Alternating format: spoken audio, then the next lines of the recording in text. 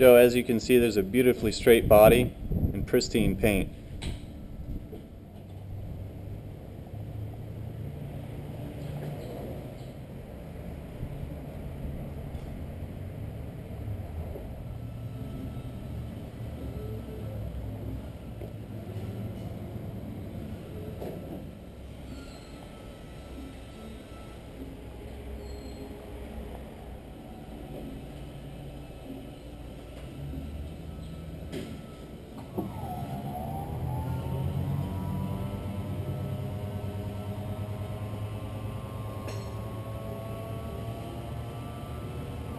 Ship a car to your lake house and you're shipping a car, a truck to your lake house and say, oh, I had to go buy another one because I'm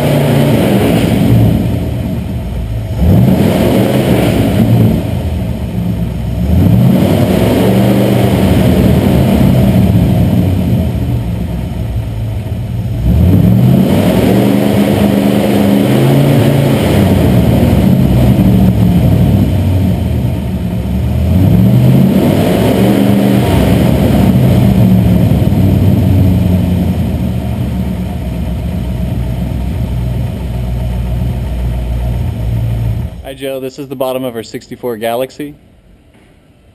Looks like it's uh, had a fresh coat of undercoating done on it. Appears really solid. The exhaust does seem fairly new.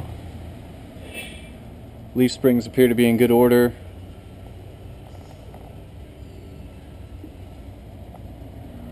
Doesn't appear to be any leaks out of the differential.